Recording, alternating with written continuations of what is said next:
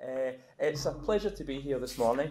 Uh, I just want to tell you a bit about the US corporate law course. I believe it's an optional module, is that Yes. right? Yeah. They do four from six, four modules out of six. They can choose four to six. So So this is a bit of a, a beauty contest then. I'm trying to sell the module to you, so I'll do my best.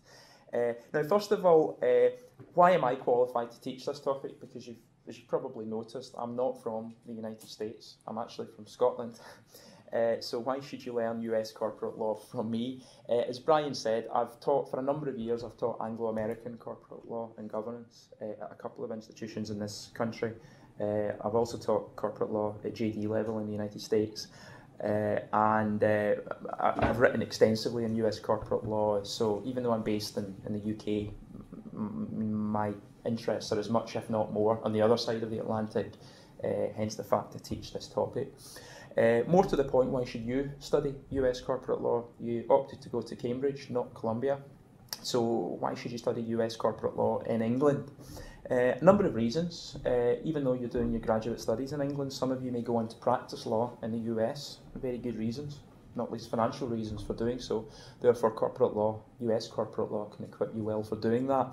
Uh, even if you don't opt to practice law in the United States, uh, if you are going into a corporate specialism, undoubtedly, or at least there's a very good chance that uh, you will be required to engage with US corporate law at some point in your professional life, uh, particularly when it comes to issues like uh, shareholders' rights or remedies, where US law, particularly US federal law, can have a quite profound international effect. Not least because certain aspects of US federal law have extraterritorial effect, uh, so can apply overseas. Uh, also, US corporate law is highly influential, as you're probably aware, as an international point of reference, whatever country you ultimately practice law in. Uh, many countries opt, for good reasons or less good reasons, to mimic aspects of both US and indeed UK law uh, for their own legal systems. So knowing about US law is important from that point of view, uh, from a from a legal evolution or law reform point of view. Uh, and also, uh, a company, wherever it's situated in the world in terms of its operations, can choose to become a US corporation. You don't have to conduct your business in the US to become a US corporation. Uh, you can opt to basically adopt elements of US corporate law wherever you choose to conduct business. Uh, and finally, a more general point we live in a largely, for better or worse, we live in a largely US dominated global political economy. The US corporation exercises a profound influence over our lives on a daily basis, whether we know it or not. So, knowing a bit about US corporations, how they're regulated, how they're structured, how they're operated, is interesting, I think, for all of us on that level. Now, US corporate law is a highly interesting system of law, uh, not just because it's high profile, but because of the way it's actually constructed. Uh, and it's also a highly unique system of law as well, not least because there is no such thing as US corporate law, really, even though we use that term. The US corporate law system is actually 51 different systems of law, or if we include the federal level, 52 systems of law, all rolled into one. So you have each, you have 50 systems of law for each of the states of the United States. You have another system of law for the District of Columbia, uh, where Washington is situated. And then you have a federal level of laws overlaying all the state laws. And principally, US corporate law is actually state based rather than federal based. Uh, now, uh, there's a very important principle of US corporate law that's important to understand from a very early stage, and we will be emphasising at an early stage in the course, which is called the Internal Affairs Doctrine. Which basic, it's basically it's best described as a kind of quasi-constitutional principle, to the effect that aspects of internal corporate law, and incidentally, in the US, we tend to use the word corporate rather than company law. Both terms mean the same thing, really, but we use the word corporate more than the English term company. But the Internal Affairs Doctrine basically dictates that uh, matters of corporate law, in other words, uh, rules, principles governing the internal structure and operation of the firm, things like directors' duties, shareholders' rights, these issues should be governed at state level, not at federal level.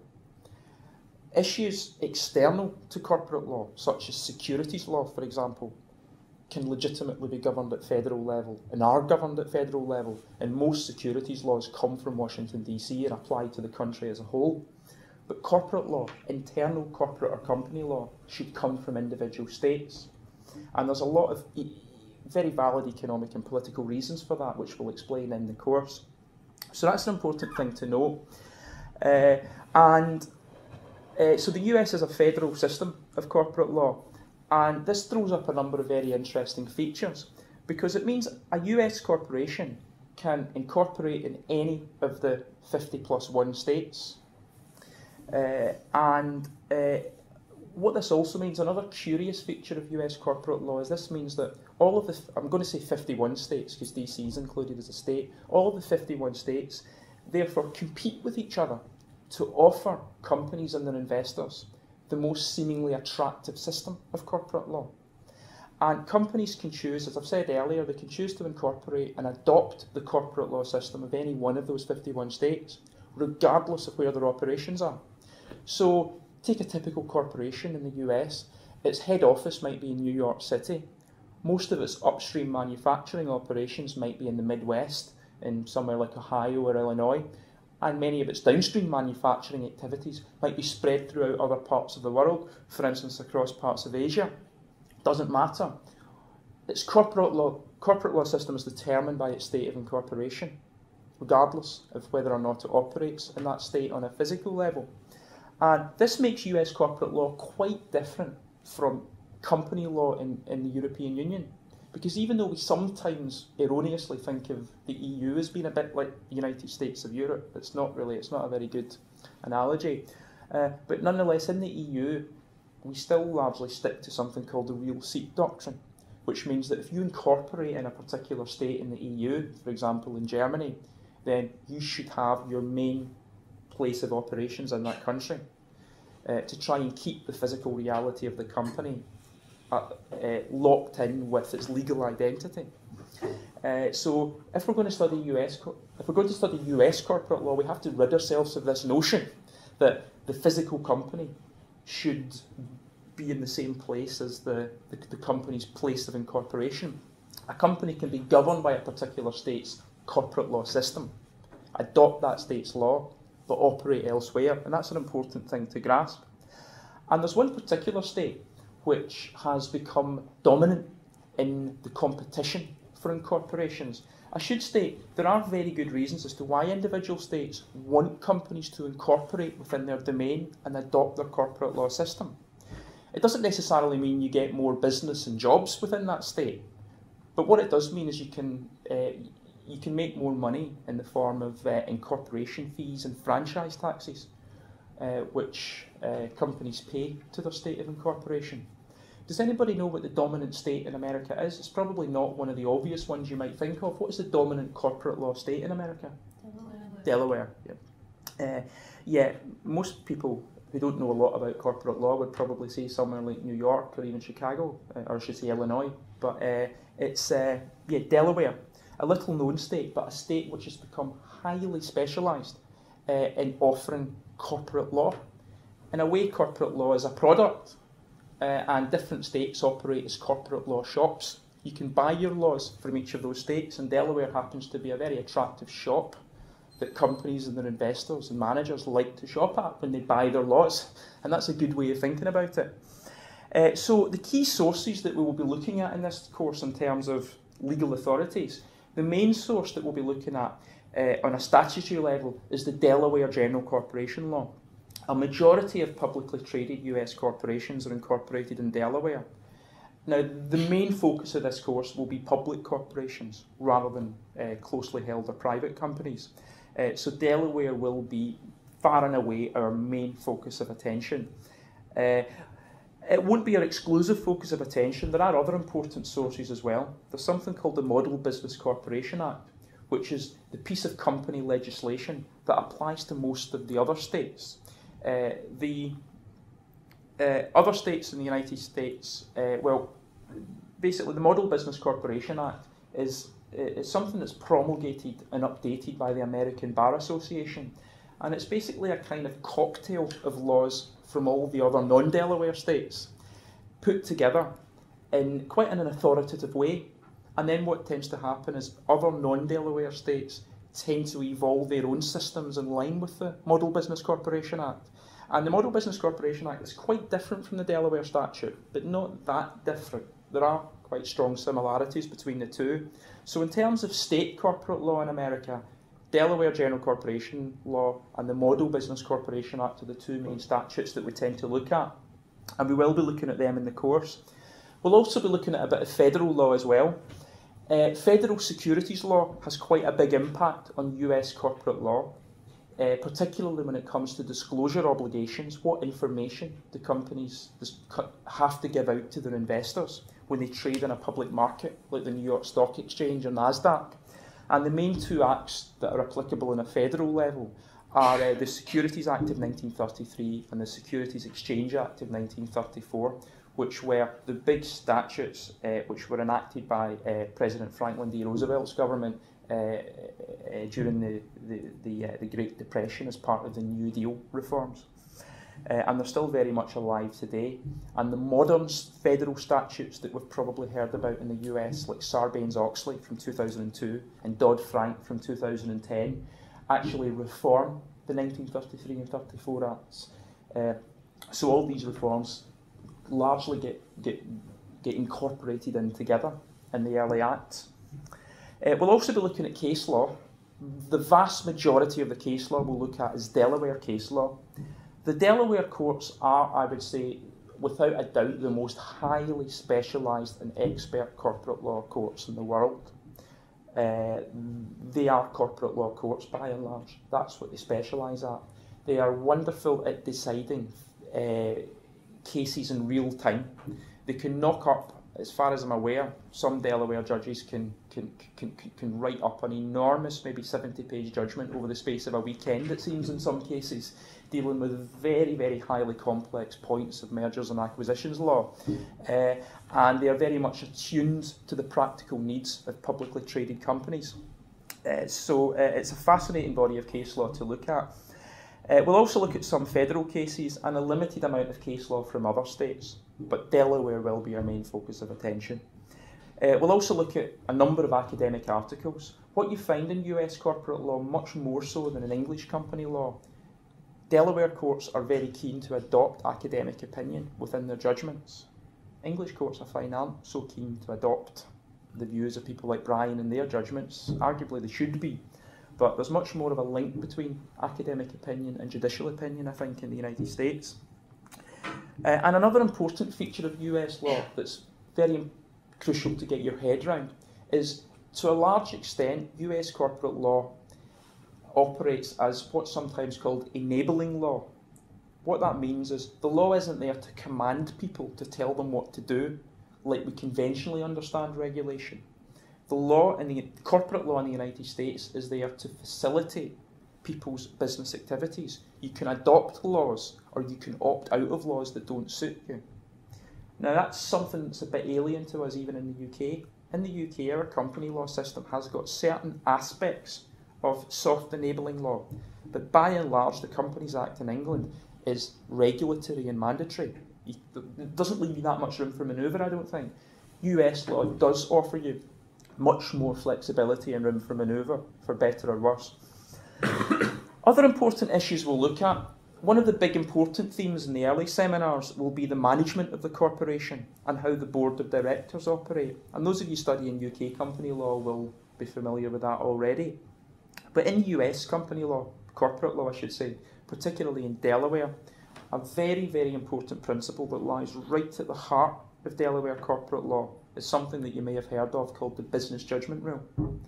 The business judgment rule is basically a judicial presumption to the effect that a board of a company, when they approve the decision of the company's management, they are presumed to have acted honestly uh, for the benefit of the company, uh, loyally for the company, and also on an informed basis, equipped with the requisite information.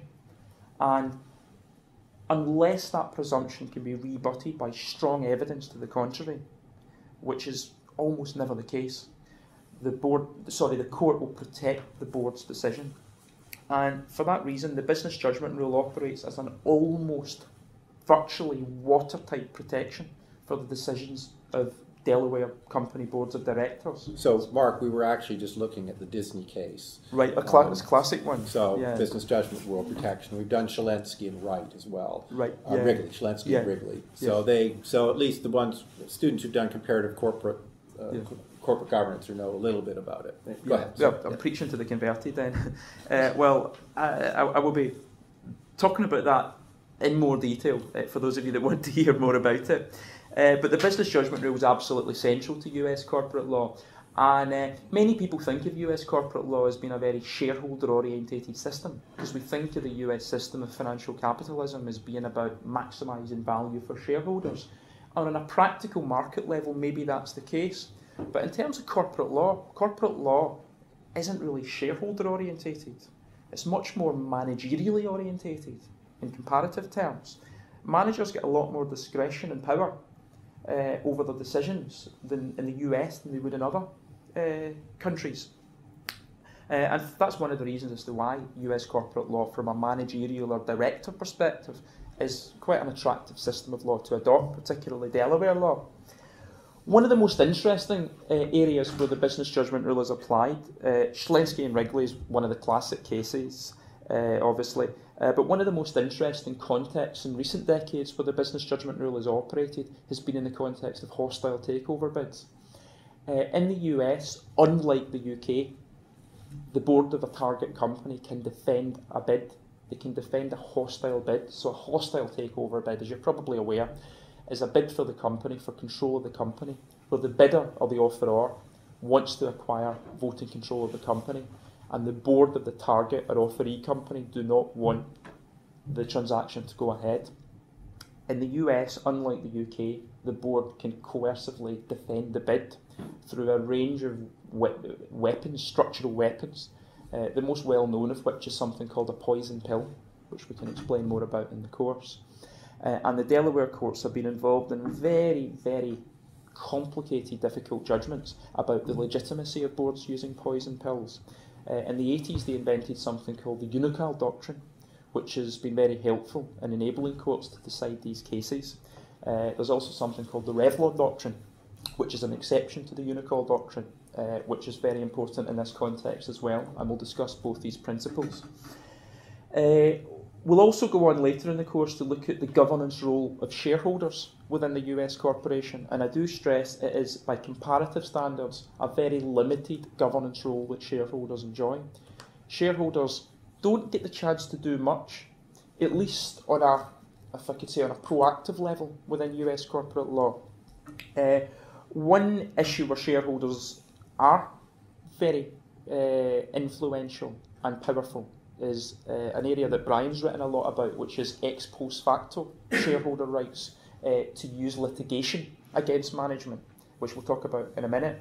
But when it comes to shareholders' rights to actually get involved in management decisions as they're being made, shareholders have their hands tied to quite a significant extent in the US, much more so, I should stress, than they do in the UK.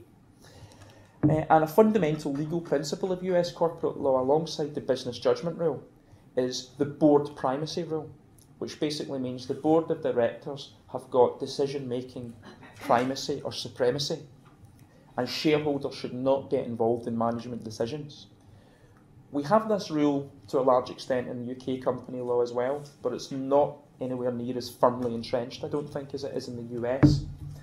Uh, the main way that shareholders in the US can have an influence over corporate decisions is through something called the proxy process which is a federally regulated procedure, regulated by the, the securities regulator, the, the Securities and Exchange Commission of SEC. And under the SEC regulated proxy process, shareholders are given a formal opportunity to make proposals which can then be voted on by shareholders in the company's annual meeting. Uh, and uh, these proposals can, they're a way in which shareholders can try to convince boards of US corporations to adopt certain policies or to do certain things that the shareholders think is desirable.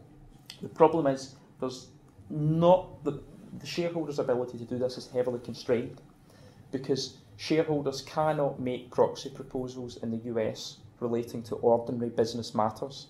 They cannot try to tell the board how to manage the company because that is not the proper remit. Uh, and it's usually structural things that shareholders tend to make proxy proposals on.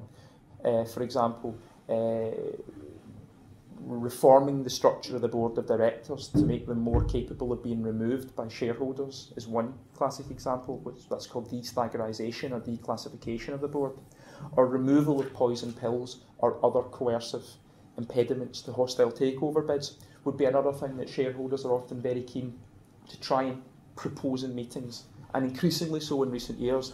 Now that activist shareholders have become much more involved in corporate governance, challenging boards of directors but nevertheless, the process is very heavily weighted in favour of the board and indirectly the managers who work under the board, and vice versa, very heavily against the shareholders. The shareholders, in a way, in the US are always fighting against the wind uh, because the legal, the, the, laws that there are, are are quite heavily weighted against them. Now, some people say there's very good reasons for that because it's not shareholders' proper role to be getting involved, to be getting their hands dirty and getting involved in managing companies. Shareholders are investors. They entrust the board and the managers to run the company, and if they're not happy, they can always just sell their shares. And that's the traditional approach of, towards corporate governance in the US. Whereas in the UK, uh, we're much more willing, I think, or at least uh, comparatively more willing in the UK to allow shareholders uh, to, to, to have more of a say in the running of the company.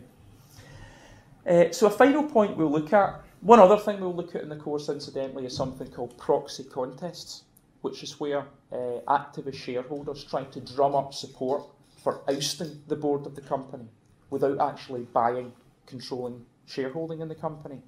Uh, the best analogy is to think of it as a military coup of a dictator in a country. That's rather how proxy contests operate in the US, and we just don't see these sorts of things in the UK for reasons that we'll, we'll, we'll maybe explain if we have time in the course.